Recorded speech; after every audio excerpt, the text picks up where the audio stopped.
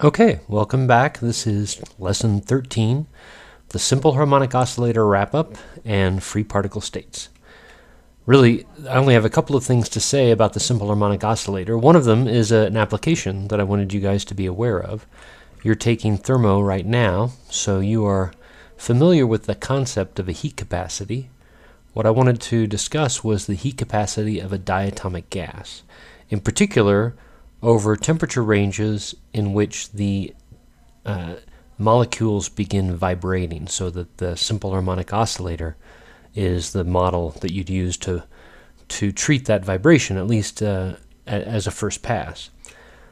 The basic idea is that the uh, the probability of the molecule having any particular energy is proportional to the Boltzmann factor, e to the minus energy divided by kT.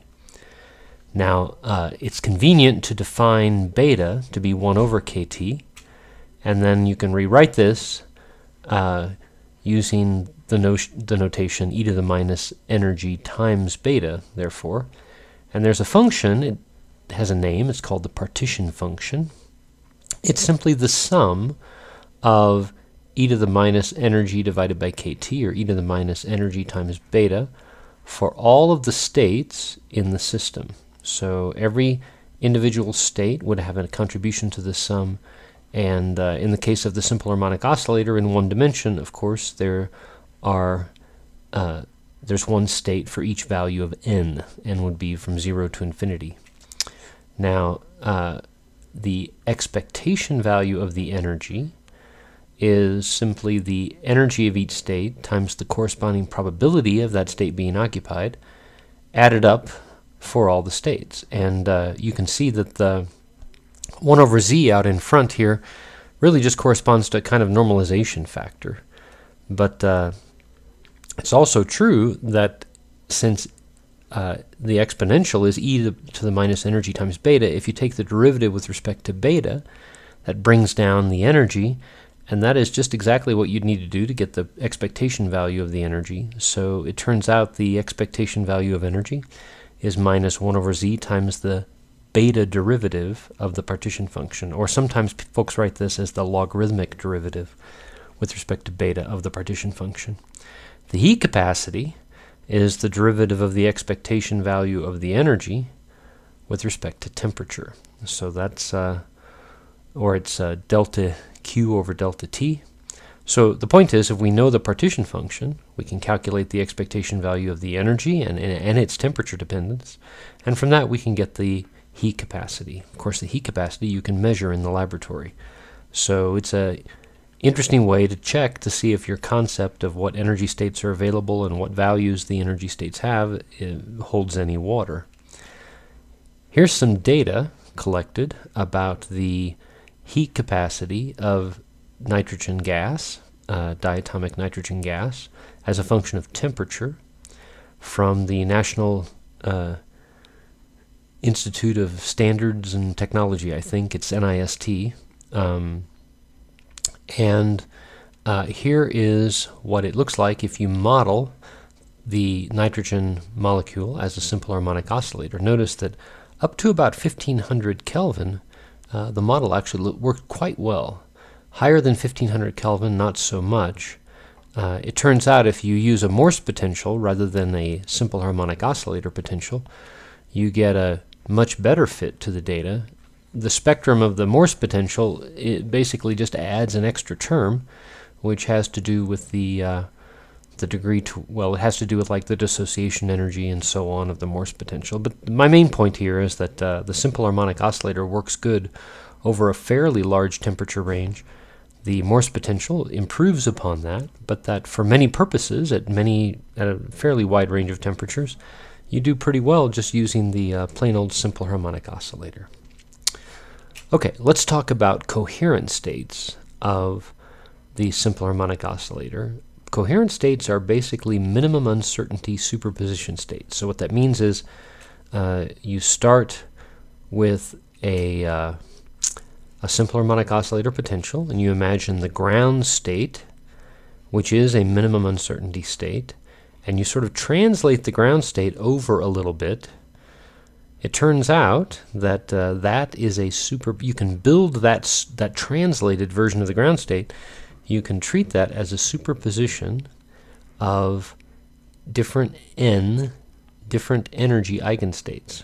Um, and when you work it out, the coefficients happen to be uh, some number to the nth power divided by the square root of n factorial.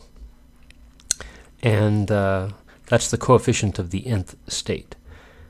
In order to normalize that, it turns out the factor out in front has to be e to the minus alpha squared over 2. Alpha is some number that characterizes the uh, characterizes the amount of displacement that you put in. Um, we'll see in a little bit exactly how that comes about and how it works, but uh, but for the moment, let's look at a real quick Python demo to see this sort of in action. Okay, I just wanted to go through a little bit of the program for Project 4 in case you're struggling with it. Uh, in this case, we have 80 arrows and the length of the x-axis is 15. Um, HS is the Hermite polynomials. It's an array of arrays, sort of like the example I did in class the other day, where I made an array of arrays of the uh, stationary states of the infinite square well. Also, I have an array of coefficients. These are going to be the they're like Fourier coefficients, but now they're Hermite polynomial coefficients to create the coherent state. That's the alpha to the 2n divided by square root of n factorial, or alpha to the n divided by square root of n factorial business. And of course, then there's the uh, the actual wave functions. Now I have an array of array of wave functions. Now the wave functions are built up as uh, Hermite polynomials times Gaussians. And so we'll see how that works. I want to create the Hermite polynomials. I'm going to do that using a recursion relation that I described in an earlier video. We start with uh, hs0 is just 1, hs1 is 2 times x, and the higher order polynomials we get by taking twice x times the nth polynomial minus 2n times the n minus 1th polynomial that gives us the n plus 1th polynomial, and that should, uh, that should take care of us. So that fills in the HS array with the Hermite polynomials. Then what I'm going to do is calculate the coefficients. I want to do that recursively because factorials are, are uh, dangerous to do because they get very large and it turns out since these coefficients have factorials in them we could easily overflow but if we compute them recursively then we reduce the risk of of overflow. Finally, I can calculate the, uh, the wave functions. Uh, notice that I, I start out um, the ground state psi sub 0 is just a Gaussian. Then I calculate the normalization factor that goes out in front. And then for the ith stationary state, I take the normalization factor times the ith Hermite polynomial times the Gaussian. And then I get all of the uh, wave functions. Then to make the superposition state, this is a single wave function which is a superposition of the stationary states. Uh, I start out with an empty array of zeros.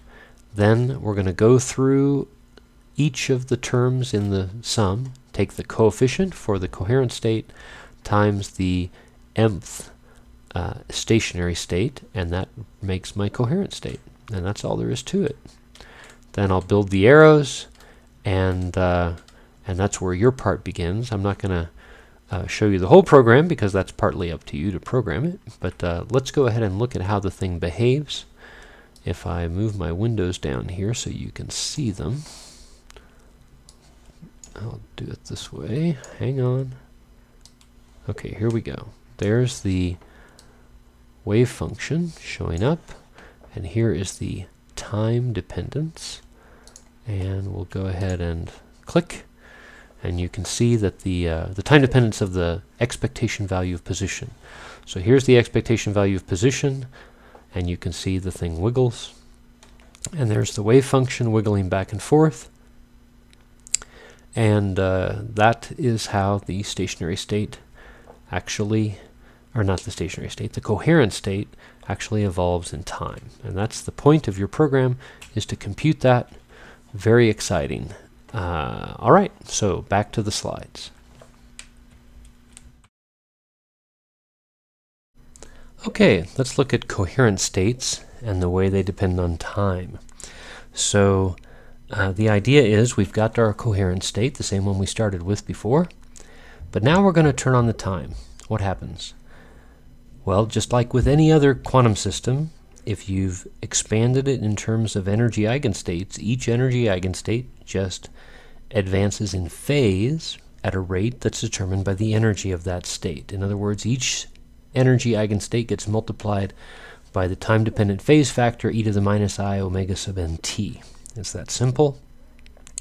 What if we want to compute something like, uh, like the expectation value of x as a function of time?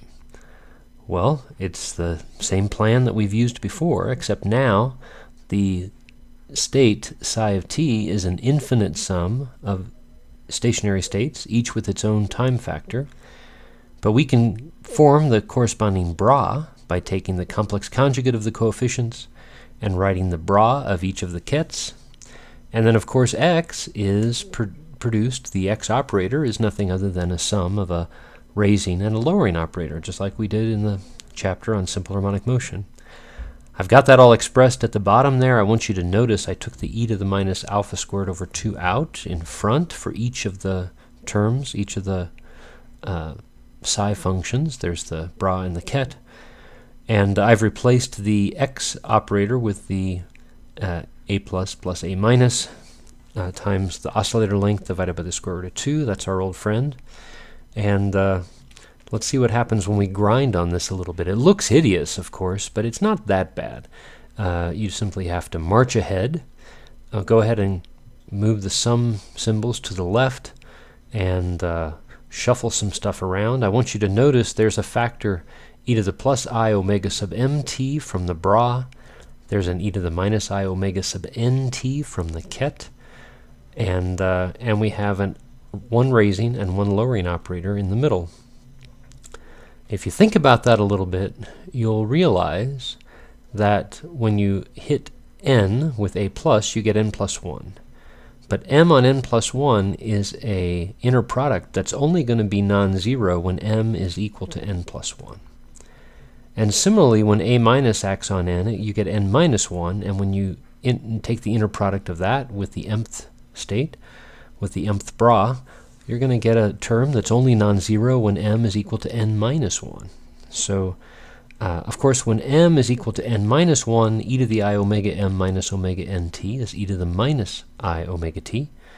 And uh, when m is equal to n plus 1, I'm sorry, when m is equal to, yeah, that's right, m is equal to n plus 1, omega sub m minus omega sub n will be e to the plus i omega t. Remember, the difference between neighboring energy levels in the simple harmonic oscillator is h bar omega, the natural frequency of the oscillator.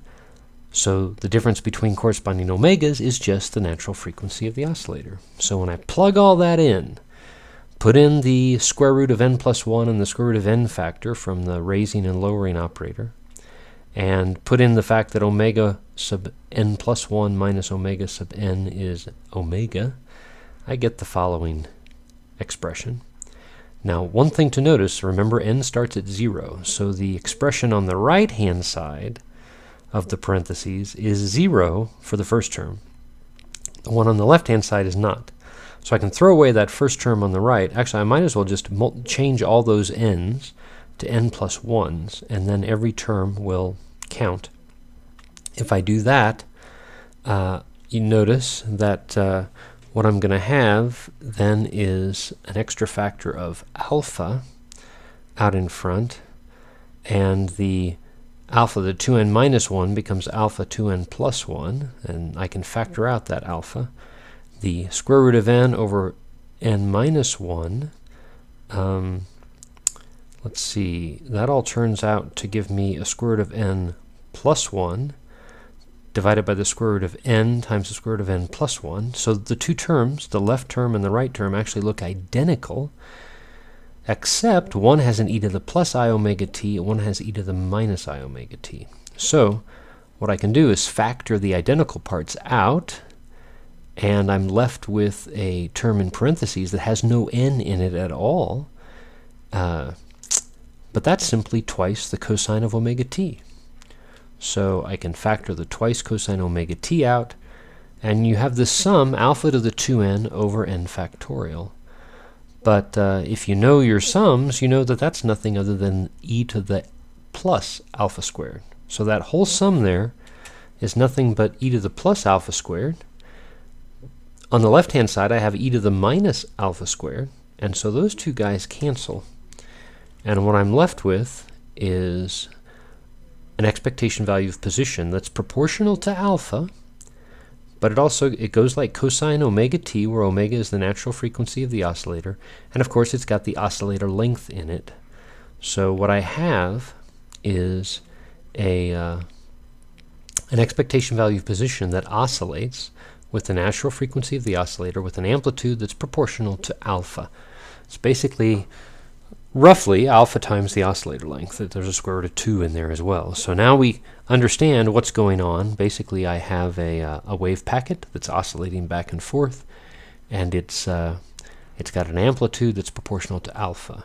Of course, that means the energy goes something like alpha squared, and uh, of course, we know that alpha squared is actually the expectation value of n, the uh, eigenvalue, the n, the energy uh, eigenvalue of the uh, of the oscillator. So, too much fun. I hope uh, maybe that gives you some idea of how you can do calculations with these guys. Uh, when it comes time to do the questions at the end of the report, maybe that will help you out a little bit.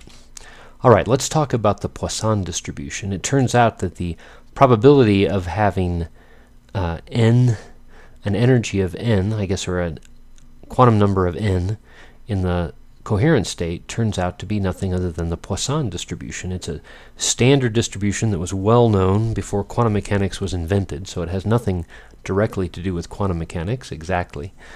But uh, it is important to know a little bit about how you do calculations with the Poisson distribution. Let's take an example. What if I want to know the expectation value of n in the Poisson distribution?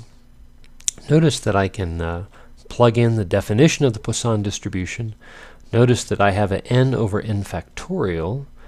That gives me uh, an n over n times n minus 1 factorial. And uh, I can factor out a mu. I can get rid of the n over n because that's just 1. And also notice that in the expectation value sum, the first term doesn't count. So I can go back and replace all of the n minus 1s with n and it won't change the sum because the first term doesn't do anything anyway.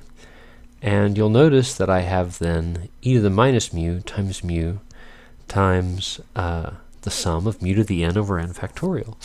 But what is the sum of mu to the n over n factorial? Well, that's e to the mu. So e to the mu times e to the minus mu gives me 1, and I get the expectation value of n is mu. So that's kind of a trick you can use to evaluate uh, different moments of the Poisson distribution. You can play games like this. If you work out the same idea for the expectation value of n squared, turns out it's mu squared plus mu. Okay, so if you calculate the difference between n squared, the expectation value of n squared, and the expectation value of n squared, you've got the variance. You can see that that's going to turn out to be just mu. And that means the square root of the variance, or the deviation, is the square root of mu. So both the expectation value of n and its variance are equal to mu, and that means that this is a one parameter distribution. Anyway, I hope that helps you guys with your answers to Computing Project 4 questions and uh, gives you some sense of how you do calculations using the Poisson distribution. Uh, free particle states are pretty easy. We've actually already dealt with them when we did the traveling wave in Computing Project 2 um, because the Schrodinger equation, when the potential is equal to zero, is simply that the second derivative of the wave function is minus a constant times the wave function. The constant turns out to be k squared, and the solutions turn out to be traveling waves moving to the right or the left. The, uh, the energy that corresponds to a particular value of k is just the kinetic energy. It's the momentum squared divided by 2m. That's h bar k squared divided by 2m. So that's pretty easy. Uh, a couple of things that are different with the k in the free particle state as opposed to the infinite square well is that the k is no longer quantized. There are no boundary conditions for a free particle, so there's no requirement that the wave function go to zero at any particular place, and so that means that uh, k can be anything. The other problem is that these wave functions that I've got written here you can't normalize. So they're not really proper wave functions in the sense that they correspond to realistic situations. But they are important as a sort of a mathematical model of what could be going on. Here's a way to get a handle on how to deal with these wave functions in a real uh, example, a real case. Suppose we start out with the infinite square well, and then we let the infinite square well stretch to a large size. We let the size of the well become very, very great. What's going to happen? Well, the k values that are allowed, if you do that, if you let a become large, what's going to happen is the k values are going to get more and more closely spaced together. Also, the boundaries become very far away, and so what that means is we don't any longer have to use sines and cosines because the reason we use sines, for example, was because we had our well go from 0 to a and we needed the wave function to go to 0 at the boundaries. But the boundaries are going off to infinity now, so that means that we don't really have to worry about the boundary conditions um, because the boundaries are in infinity. So we can use le left or right, right traveling waves, the same kind we used in Project 2, uh, where k can be a positive number or a negative number. It can have any value. Uh, those all correspond to solutions to the Schrodinger equation. Um, but uh, so what's good about that? What we have to do in order to form realistic solutions is to use superpositions of these infinitely um, dis distributed, I guess, traveling waves. And so what we want to do is to write a general solution as the sum of multiple different traveling waves with different values of k. So in a very large but not quite infinite square well, the values of k will be, uh, the allowed values of k will be finite or countably infinite. I guess they'll be countably infinite, but the spacing between them is going to become very, very tiny as we let the well grow in size. And so it's going to produce a series of uh, k's that are very, very close together. In the limit, as the well goes to infinite size, we're going to get a continuous distribution of k's. And this sum, the superposition sum, is going to have to evolve into an integral. Okay. But now the coefficients are not countable anymore, so we need a function. When you have uh, so many coefficients you can't count them, you need to describe a function which says what the coefficient is as a function of k. So the thing ends up looking something like this. Um, in practice, or I should say, the convention is that we define the coefficient function as phi of k, and we throw out in front a normalization factor, 1 over the square root of 2 pi, in order that you can run back and forth between the function of k and the function of x, it turns out that all the information that was in psi of x is also in phi of k. All the information in phi of k is also in psi of x. So phi of k sort of becomes a new way to view the wave function. It's called the momentum space wave function or the k-space wave function. It's uh, just a different way to look at the same wave function. If you've done uh, electrical engineering, this is no different from time domain and frequency domain functions, which uh, basically do exactly the same thing. The uh, superposition state is psi. The Fourier coefficient function is phi. It's also called the Fourier transform of psi. And uh, we're going to learn in Chapter 3 that this is actually just a special case of a very general concept called a change of basis. And um, the phi function in this particular example sort of plays the role of the Fourier coefficients in a Fourier series. It's just that the frequencies are now continuously distributed instead of discrete. And so we calculate the phi of k's using what's called a Fourier transform, and we calculate psi using what's called the inverse Fourier transform, and uh, and that's how those guys work. Okay, now there are also discrete versions of the same thing, the discrete Fourier transform, and uh, we'll get used to these functions and see how they work, but I just want to put them out there for you. They're also in the write-up for Project 5, so you'll get a chance to play with these. The only reason I really put these there for now is that uh, when you compute Fourier transforms on the computer, the computer actually computes the discrete Fourier transform. So it's uh, slightly different factors and slightly different nomenclature, but it's basically the same idea. We're going to derive both of these forms, the discrete form and the continuous form, when we get to chapter 3. And uh, But for right now, we're just going to get used to what they do and how the machinery works. But we're not going to worry too much about exactly how you derive them yet. But give it time. Finally, what happens if you turn on the time? What happens is um, each energy eigenstate gets multiplied by a phase factor that's whose frequency is determined by the state's energy. It's the same old plan we've done before, and uh, and that's the whole thing. So to calculate psi of x and t, it's just like the inverse Fourier transform, except now instead of just e to the ikx, we have e to the ikx minus omega kt. In other words, each term in the sum, each term in the integral, I guess, is getting multiplied by the corresponding phase factor.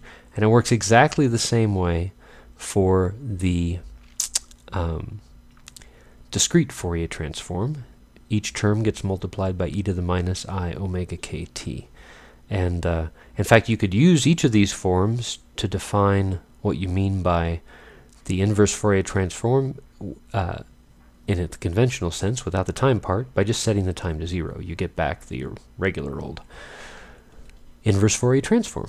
All right, so that's all there is to it. I hope uh, I hope it wasn't too crazy, and we'll see you guys next time.